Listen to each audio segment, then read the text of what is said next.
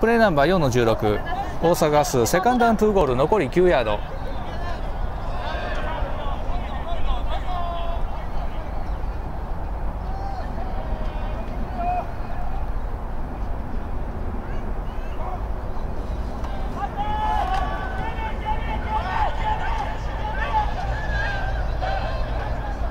タッチダウン。クォーターバック10番右方向にロールアウト。